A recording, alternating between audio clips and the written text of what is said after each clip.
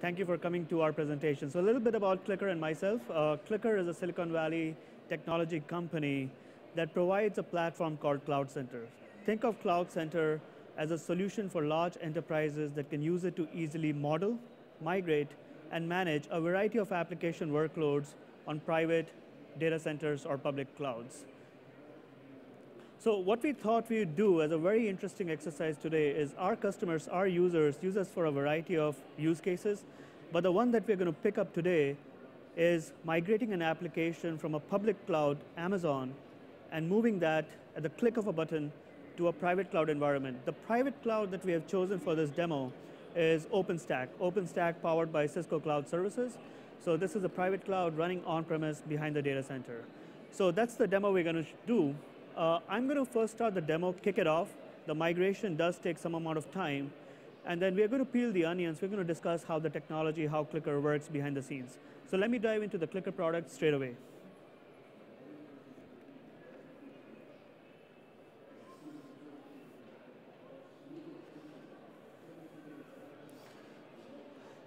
So this is the CliQr UI. This is CloudCenter. Cloud Center is available as a SaaS offering, software as a service, but we also provide it as an on-premise installation.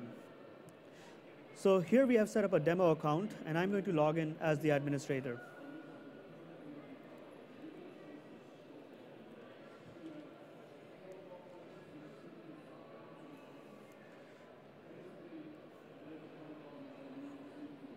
So as we are logging in here, you will see the CliQr dashboard come up.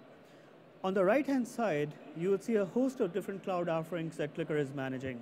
A variety of public clouds like Amazon, Azure, IBM SoftLayer, so on and so on, as well as private cloud environments. The private cloud that we are interested in for this demo is OpenStack powered by Cisco.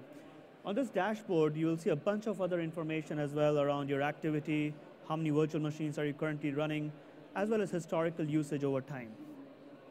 In this demo account, we also have onboarded or migrated a variety of applications. The application that we are going to use for this demo is Confluence. In fact, uh, this is an application that we are using at CliQr Technologies to run our website. Our website is based on Confluence. So let me quickly look at this application. Uh, this is the application. I can also rapidly review the application topology for the purposes of this demo, we have chosen a simple two-tier application, but the same concepts apply to more complicated multi-tier, multi-component applications as well. So as you can see in CliQr's graphical designer, this is a two-tier topology that's got the application server, Tomcat, and it's also got the database, which is based on MySQL. So to just show you how this works, and to kick off the migration, I'm going to go to the Deployments tab inside CliQr. And we have an existing deployment of this Confluence application, which is currently running on Amazon Web Services. So let's, like, let's dive into this deployment and see how it looks. This is the actual two-tier application. It's up and running, and it's up and running on Amazon US West, Oregon. I can access my application from here. And this is the Confluence application. So what I'm going to do is to this is all a live demo, I'm going to create a new space inside my Confluence website.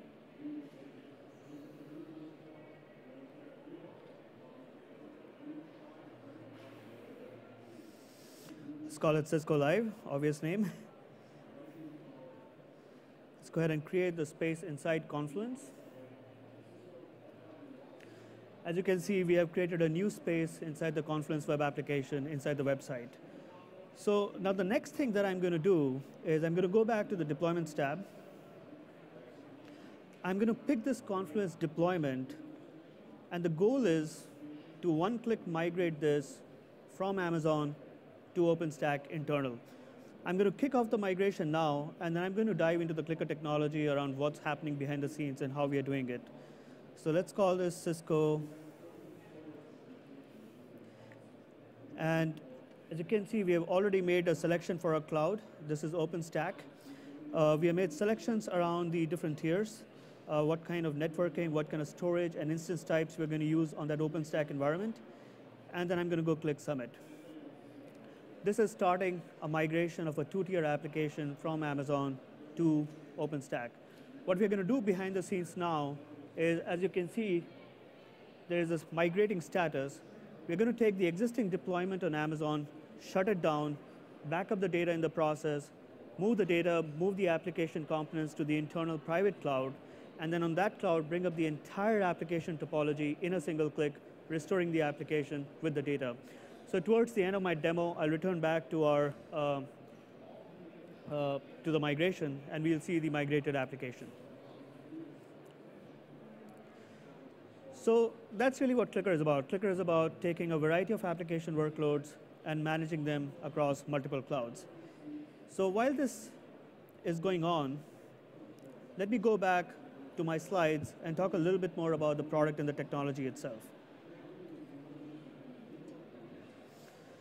So as we mentioned, CliQr is an application-defined cloud management platform. Today, a variety of companies are looking to run multitudes of applications on different cloud environments ranging from public to private clouds. Today, every cloud is very different and comes with its own unique set of APIs, services, and best practices. So if you go to an Amazon as an example, Amazon has its own EC2, uh, networking, storage, EBS APIs, different ways to manage virtual machines, different ways to manage users and credentials. But if you go to OpenStack, OpenStack has a different set of uh, concepts, Nova, Neutron, Cinder, to manage the infrastructure on OpenStack. On the other hand, if you go to a very different environment like VMware, VMware vCenter, vCloud Director, will have a different set of APIs to manage the compute, storage, and networking elements. That makes cloud very complicated, very infrastructure-centric. And to get an application up and running on a cloud, whether it be a new application or an existing application, the user today has to understand the cloud environment. You have to dive in and create scripts, could be in Puppet, could be in Chef, or could be workflows that are going to call the cloud APIs to provision the right compute, the right storage, the right networking, and deploy the application on top of it. That tends to be a very difficult exercise. So CliQr takes that complexity away. We provide this central management platform and provide a simple application-centric view to our users users can come in and create what we call application profiles. Think of profiles as blueprints or templates where you can rapidly describe your application workloads.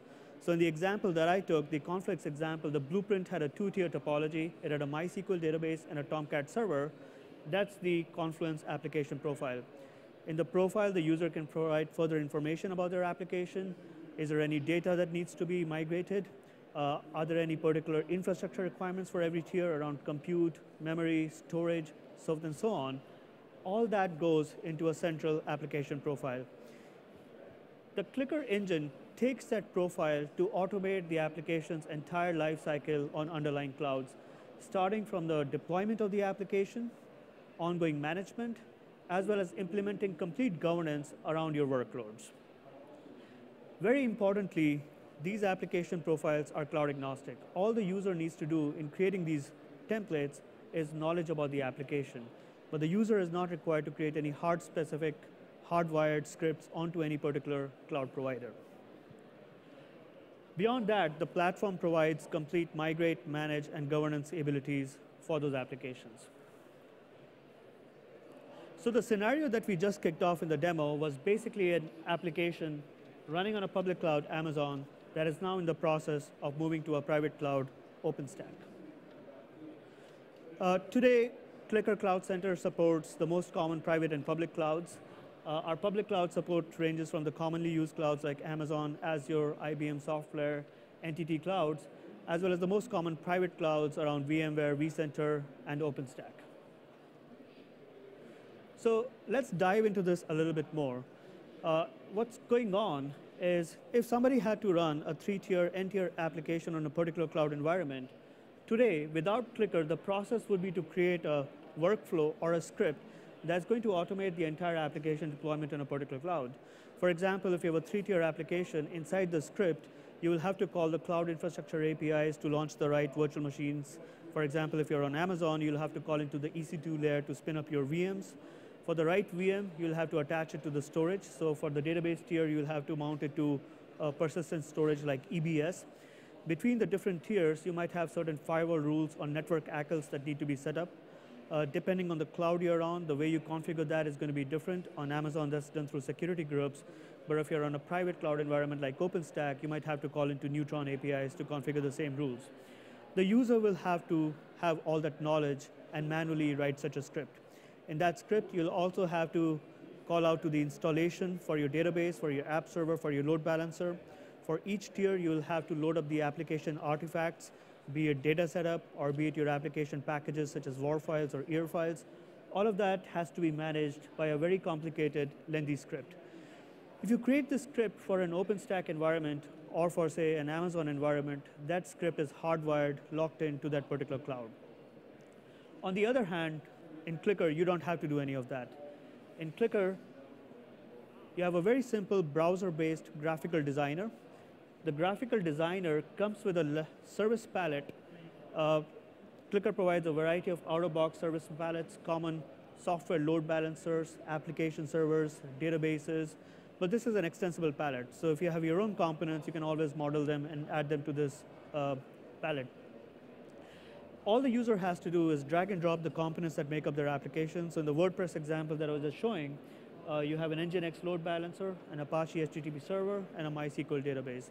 For each of the tiers, the user can provide us more information on the right-hand side. So there's a properties palette. For example, in the web server tier, the user can provide detailed information about how much memory, how much compute, uh, what kind of requirements does that tier have in terms of infrastructure.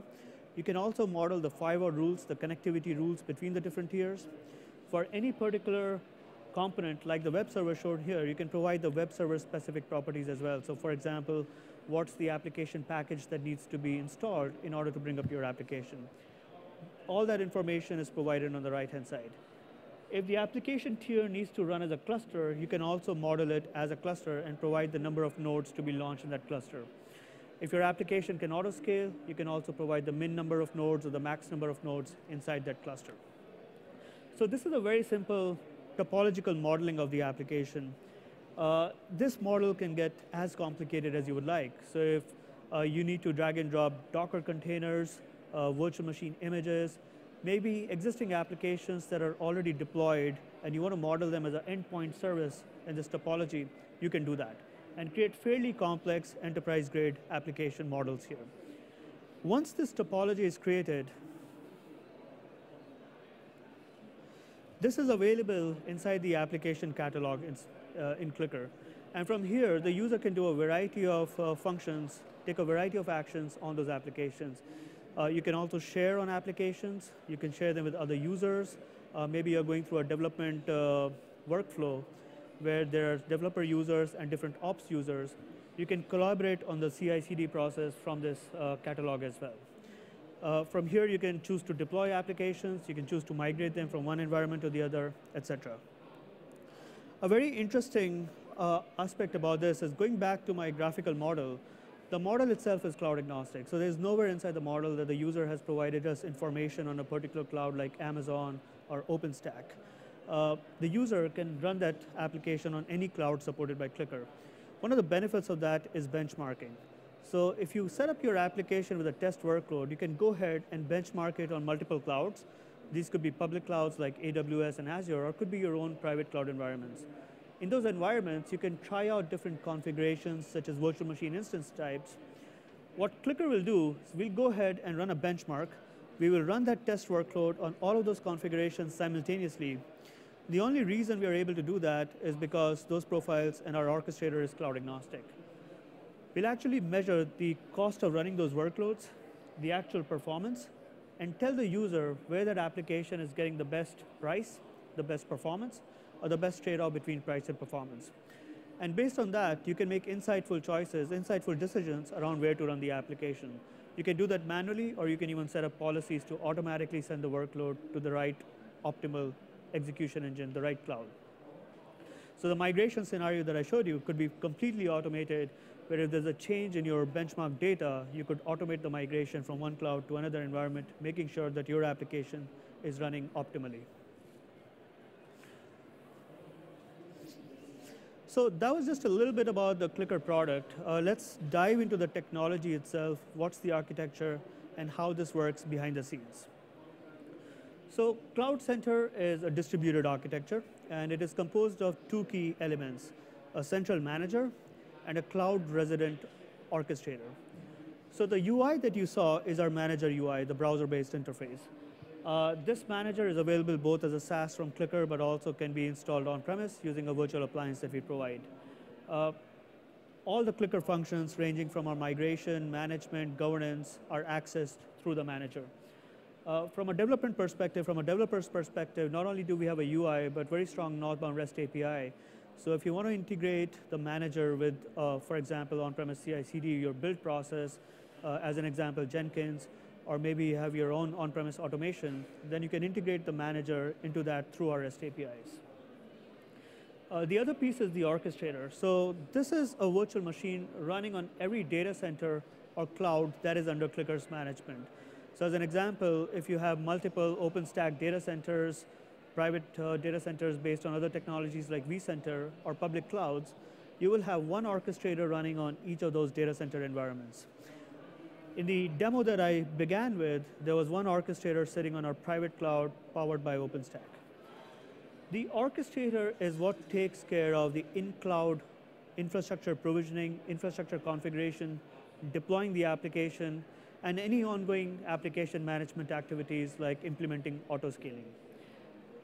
This is really the cool part in CliQr. This is the key to our technology. The manager and the orchestrator speak the same language.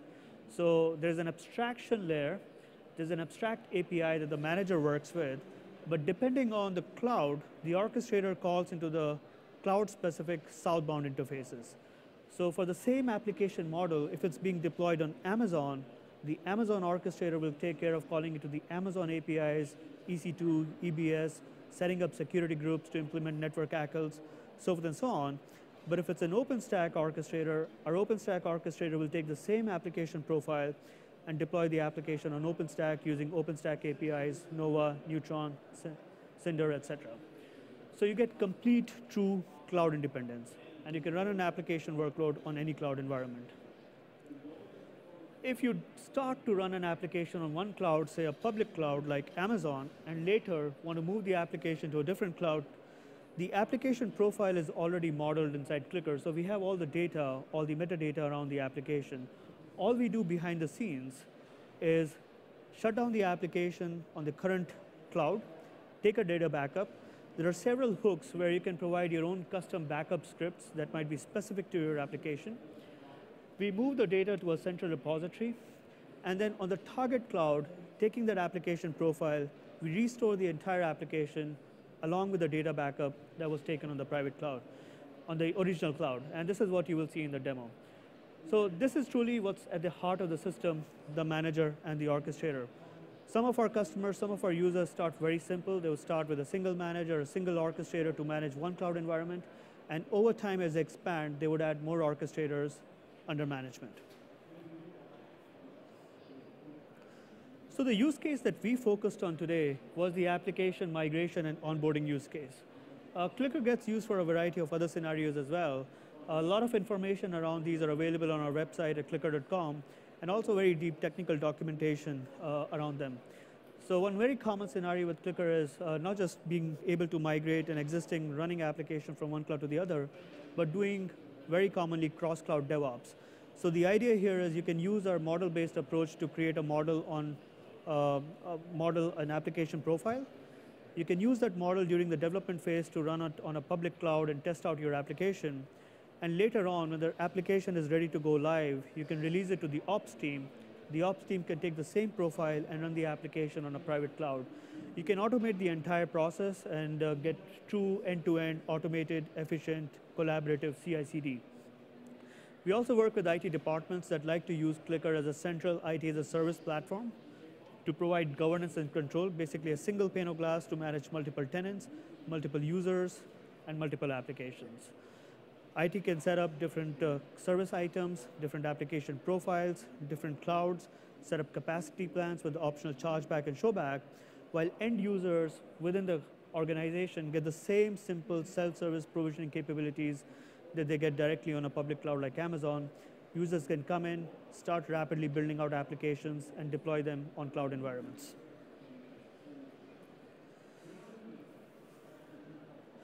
So let's dive the, into a little bit more detail. Uh, I think we covered the demo scenario and uh,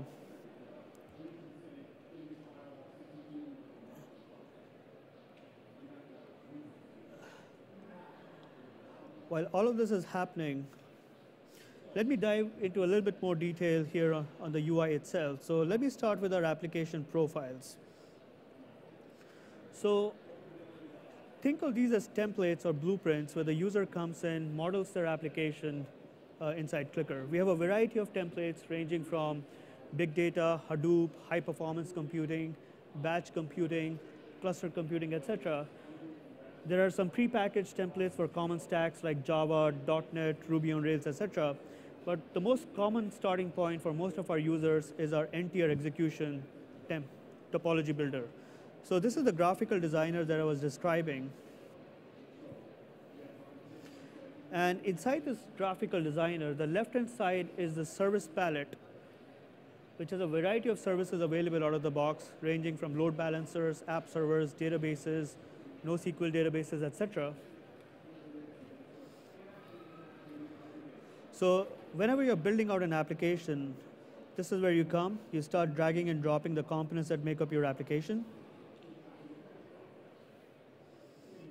So let's say I have an Nginx load balancer.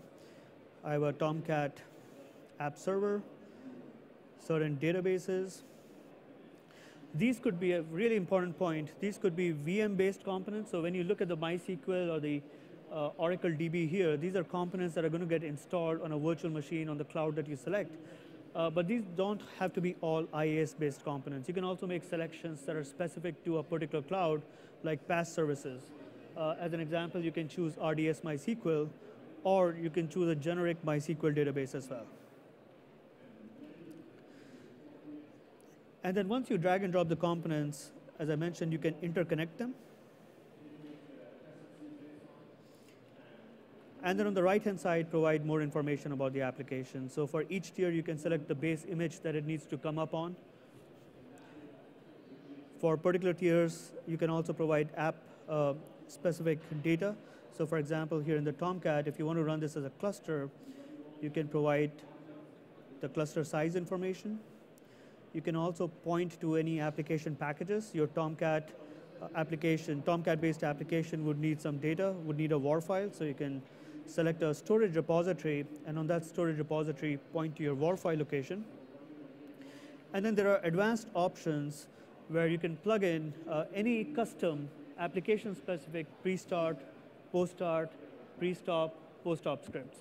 And then there are options around parameters, hardware requirements, advanced options around migration and upgrade. So as you can see, a very fairly simple way to create application models. And these can get as complicated as you like. You can drag and drop uh, containers. You can create even composite topologies where part of your application is dependent on another deployment that's already been created and uh, address real world complicated enterprise grade application scenarios. And once you do that, your applications are available in this central catalog as it's loading up. Uh, and from here, you can take a variety of actions on your applications, like deploy them on a particular cloud, schedule them to deploy later, benchmark, or even the ability to publish these applications to a marketplace. So let's go and check how our migration is going. And uh, these are the set of deployed applications that we have. Um, this is where we had originally come in our demo and kicked off the migration. So as you can see, this AWS Confluence, which was our original deployment, has been automatically stopped meanwhile. Uh, this is not running anymore. And this is the demo that I had started, and this is currently deployed. So let's dive in and see how that looks.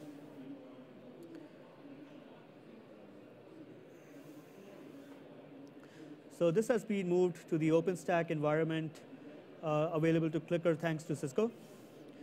And on this environment, we have a two-tier application, the Confluence application that was migrated. The user is able to see all the information about the application. So you see your Tomcat tier, all the steps that CliQr Cloud Center took in order to bring up the application tier up. You can review all these uh, activities. Optionally, if you want, you can even directly from the browser SSH or VNC into those virtual machines. Uh, now let's go ahead and access this application. So let's access this Confluence link. Let's log in here.